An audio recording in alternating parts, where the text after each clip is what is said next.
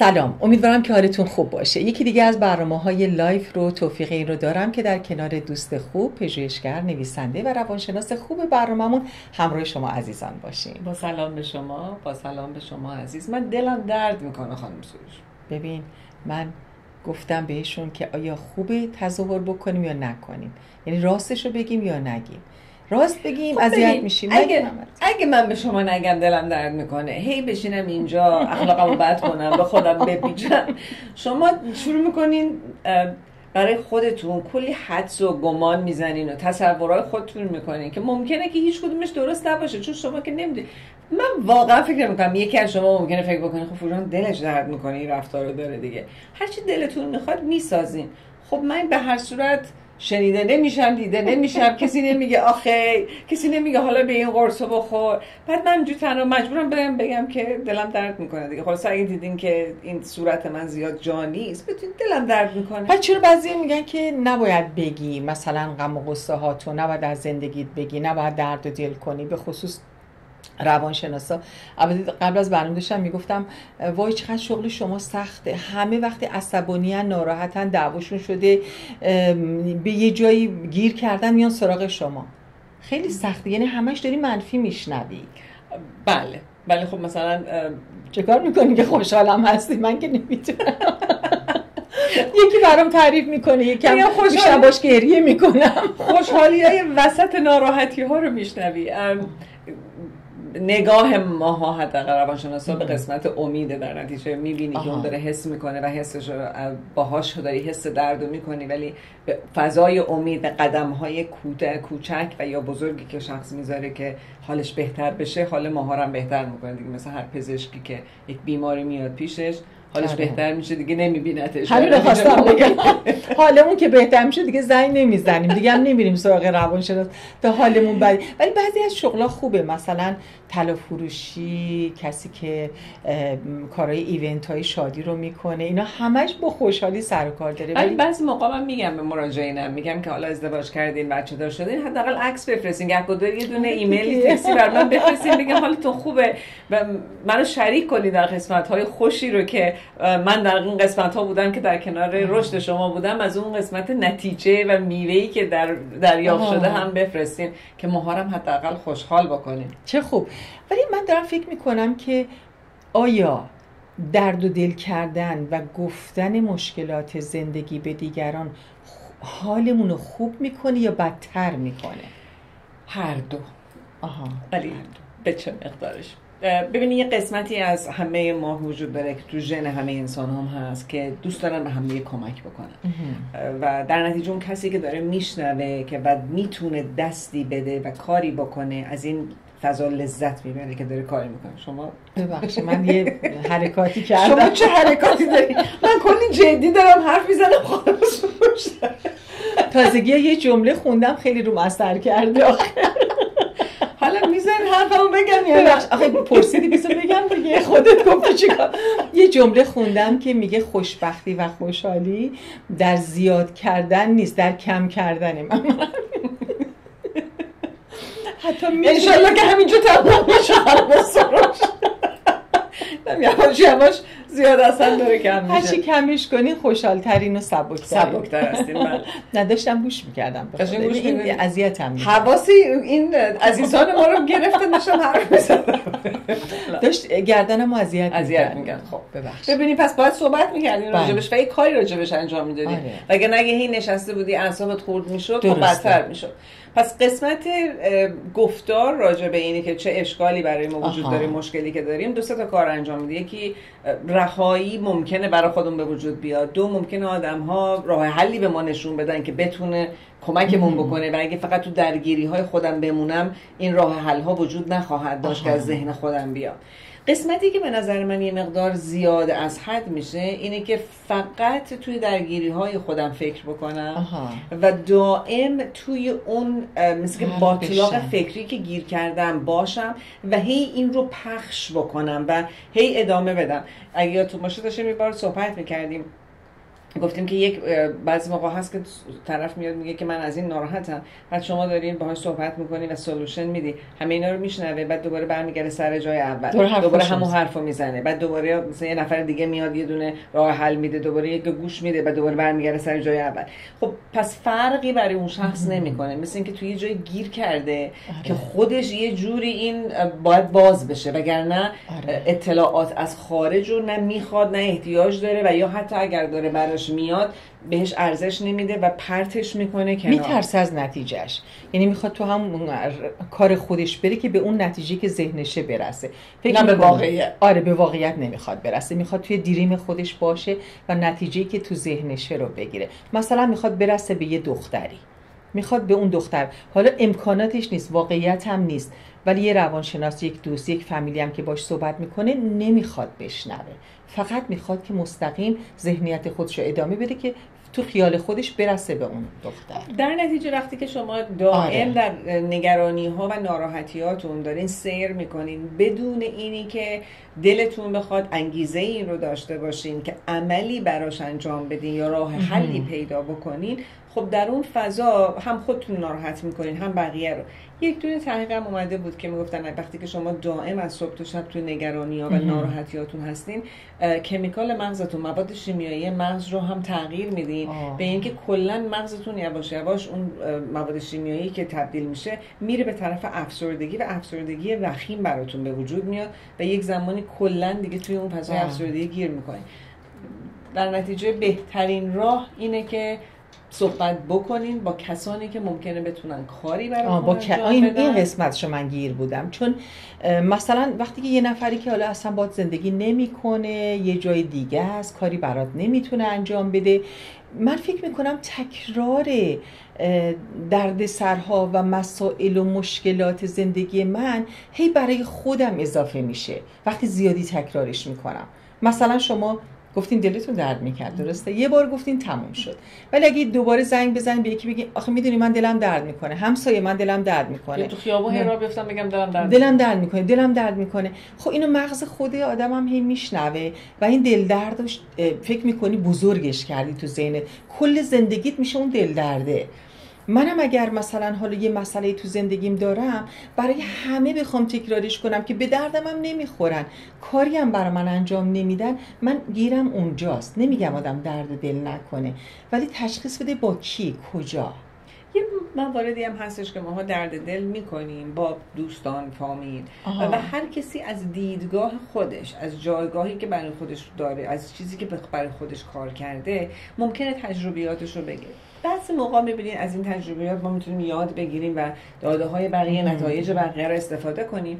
بعضی موقع ها ربطی به ما نداره برای اینکه اتفاقایی که برای اون شخص افتاده و یا شرایطی که برای یک شخصی بوده همون نیست برای من. بعد مثلا من میام به شما میگم دلم درد می‌کنه.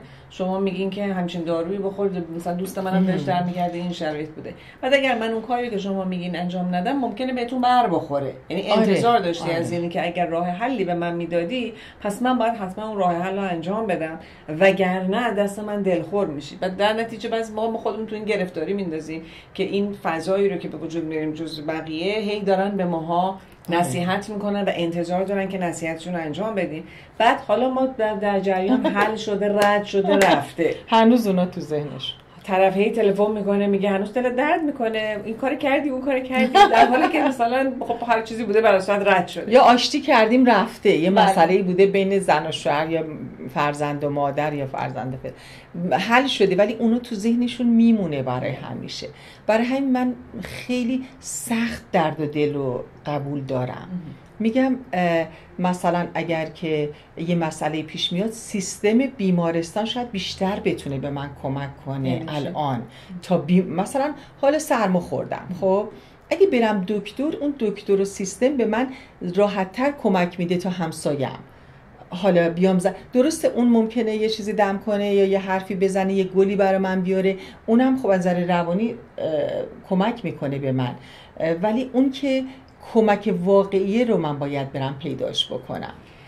ببینید مثلا من از درد دل نتیجه خوب نگرفتم. شاید تجربه شخصی شاید. ببین من فکر می‌کنم که مهمه که کجا ما داریم. سنجش اینه که کجا داریم حرف می‌زنیم چی داریم میگیم و از چه کسی داریم حرف رو میپذیریم.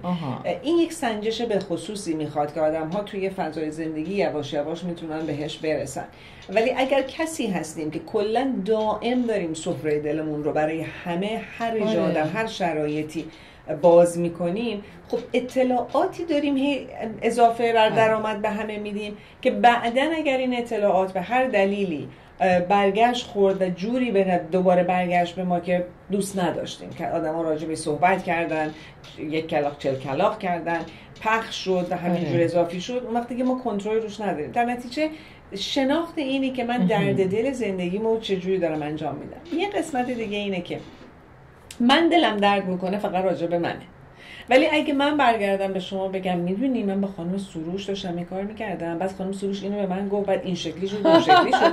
خب حالا من دارم راجع به یک نفر دیگه هم به شما میگم. معمولا هم که این شخص رو دارم خرابش می‌کنم جلوی شما. در نتیجه اون وقت بدونی که از اون اجازه گرفته باشم تازه نه تنها درد دل کردم یکی دیگرم خراب کردم. حالا تازه یک اطلاعاتی به شما دادم که شما میرین پیشه حالا بقیه میگین چی چی شد. پوجان داشت می‌گفت این خانم سروش چه بلایی سر این آورده این شکلی شده این شکلی شده. یعنی آره. ممکنه از دلداریت هم داری این حرفا می‌زنی از مهرت داری حرف می‌زنی ولی دستی دستی بین ده نفر خانم سروش خراب شد. برای اصلا درد دل نکنیم آره اون تشخیص هست. ببین بعضی, بعضی از آدما انگار که رفتی کنار آب نشستی اقیانوس. اصلا فکر تو جمله خودش به خدا. این تجربه شخصی من.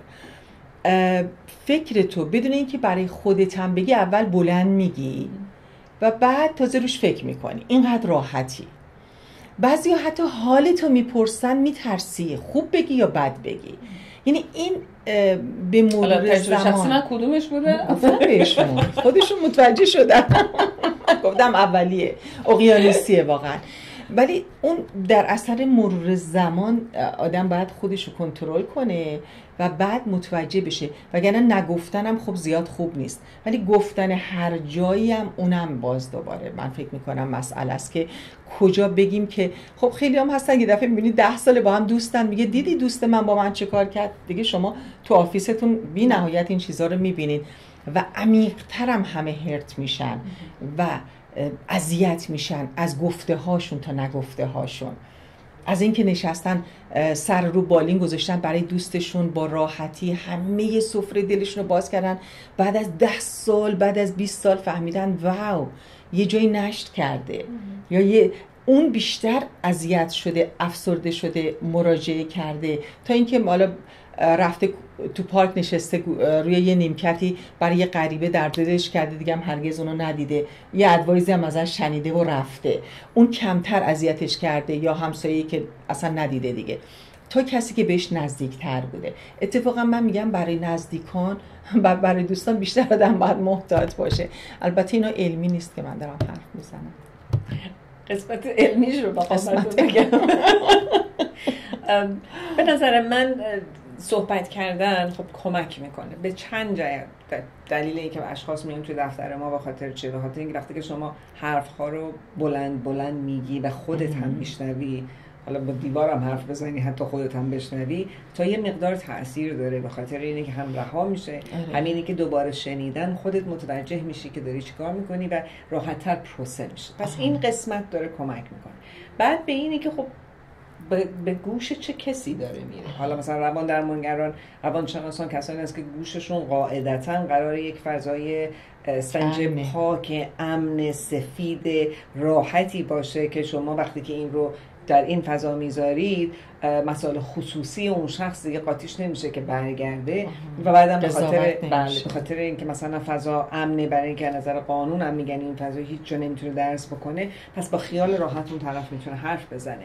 که خیلی موقع همونطور که شما داشتین می‌گفتین وقتی من حرف بزنم پیش فامیل و دوستان یک این اطلاعات ممکنه که پخش بشه دو مسائل خصوصی اونها نظریات خصوصیشون و آره. حتی نیت های خصوصیشون که اگه شما این کارو بکنید به دفع اونام هست یا نیست بالاخره این وسط قاطی میشه سومین مسئلهش اینه که آیا اگر من دارم را- راجع به خودم حرف می‌زنم یا کسی دیگه حرف می‌زنم آیا این فضا رو دارم فقط برای خالی کردن خودم استفاده می‌کنم یا اینکه دارم از این فضا استفاده دیگه ای هم می‌کنم حالا شاید این استفاده دلسوزی می‌خوام دلسوزی می‌خوام یا تحت- استفاده می‌کنم آره. مخصوصا طرف رو دارم بده می‌کنم مهم. یا اینی که حالا تو حالت مثبتش اینه که من دارم از این فضا استفاده می‌کنم که خودم رو مش...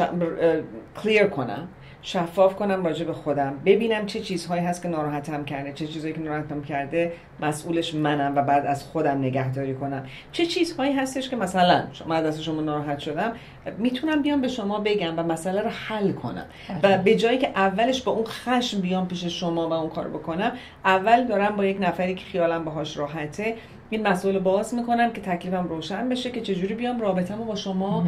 دوباره سازی کنم و بهتر بکنم. که اگه تو فضای خشمم این کارو می‌کردم ممکنه که ضرر داشت برای.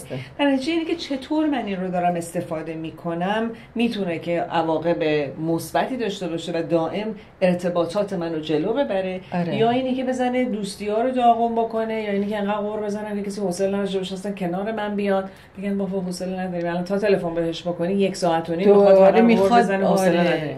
و در نتیجه دوستی, دوستی هامو از بین می‌برم. آدمایی که اطرافم هستن دیگه حوصله منو ندارن. و بعد یک کلاق چل کلاق که میشه من به نظر میام که اگه من هی دارم راجع به شما حرف می‌زنم قاعدتا شما در بری بیرون راجع تو هم دارم حرف می‌زنم. یعنی اعتماد رو سلب آره. خواهم کرد برای اون فضا. اونجاست که کارایی نداره. دلتون خوب شد؟ خیلی بهتر دل درد داشتین خوب؟ شد. گلگاب زبون فکر کنم بد نباشه با نبات. ولی دارم فکر می‌کنم که خب شما حالا میگی دلم درد می‌کنه.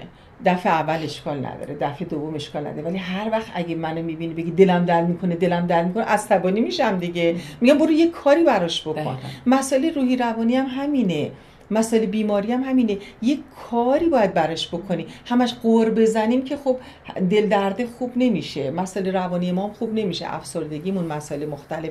همش بگیم به این و اونم به نظر من فایده نداره. باید یه کاری براش بکنیم. بریم سراغ کسایی که کمکمون می‌کنن و یه کاری برامون انجام میدن درسته؟ دقیقا. وقتی که شما ناراحتید از یک مسئله ای اولین قدم اینه که ببینید چه کسی می‌تونه کاری برای انجام بده. یعنی که مثلا من دست شما ناراحتم کسی دیگه کاری نمی‌تونه انجام بده. من و شما باید این آره. مسئله رو حل کنیم.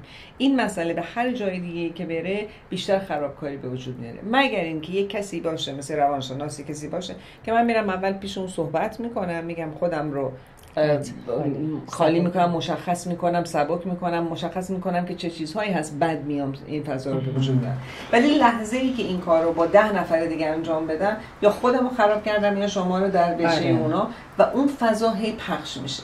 این نوع مسائل روحی روانی کارایی نه. یا اینی که من ممکنه مهارت نداشته باشم. مثل اینکه مثلا در ازدواجم ناراحتم یا با رابطه با خانوادم ناراحتم.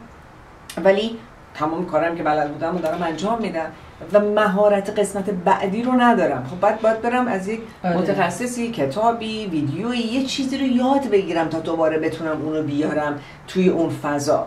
و مثلا تو خونه شما اگه یه چیزی خراب بشه یه می‌تونی راه بری. قور بزنی خرابه خرابه خرابه. به در و همسایم بگی خرابه. ولی اگه قرار باشه مثلا در خرابه بالاخره من باید برم متخصص بیارم که کسی باشه که بلد باشه در رو درست بکنه.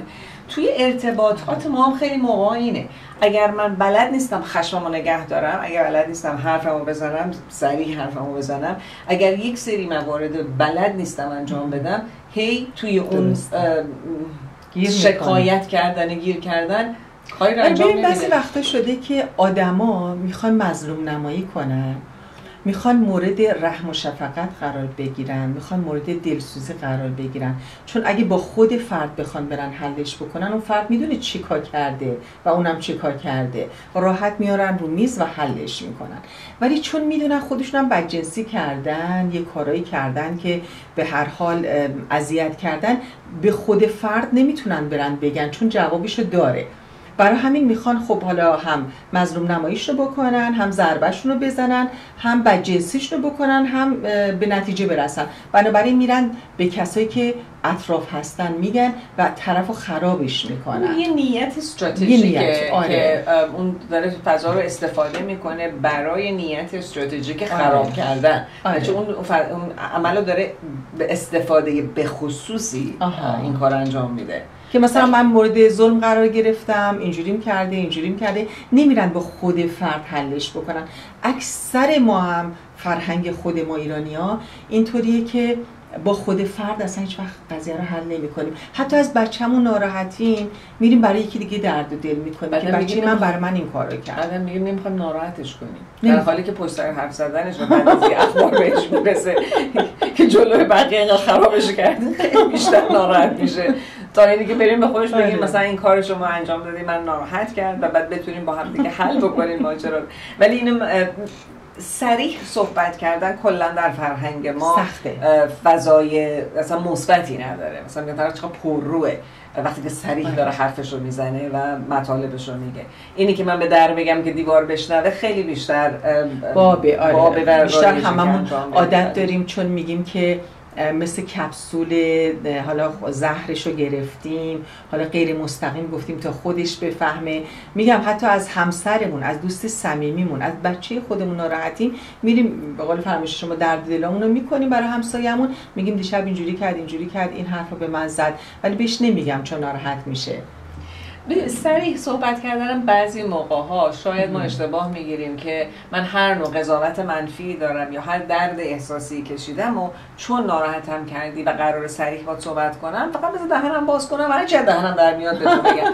خب بعد اون طرف که ناراحت میشه و میگه دیدی گفتم بهش نباید بگی. این جنبه نداره که من بهش بگم که چه جوری چه ناراحت میشه. داره میاد دو سه بار اومدن از اتاق فرمان. که دیگه بسه. آرام اومدن و رفتن یعنی که بس دیگه بس بسه پس حرفم آخرش رو بزنم که بس بشه.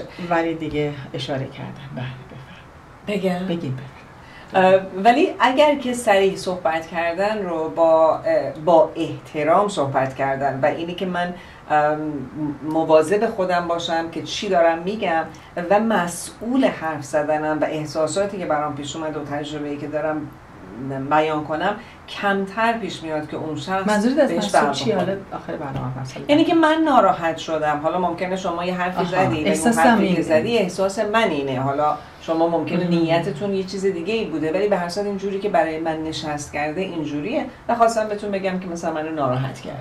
دلتون خوب شد. خدا خیلی بهتر شد. مرسی از همه شما که دل من خوب کرد. مواظب خودتون باشید. برنامه Life انشالله که بتونه روز به روز پروبال بگیره و بتونه با موضوع مختلفی که از طرف شما پیشنهاد میشه در خدمتون باشه. موضوع بعدی زیبایی همه چیز است. متشکریم از کمپانی معتبر و خوب محصولات skincare لسین که پشتیبان برنامه Life هست. از اسکینکر لاسین استفاده بکنید. با شماره تلفن هایی که در شبانه روز خود تپش پخش می‌کنه زنگ بزنید و به خصوص سرم خاویر لاسین استفاده بکنید. مثل من و خانم دکتر خوشحال میشین سالهاست ما داریم کار می‌کنیم. سپاسگزارم از همراهیتون. خدا مرسی.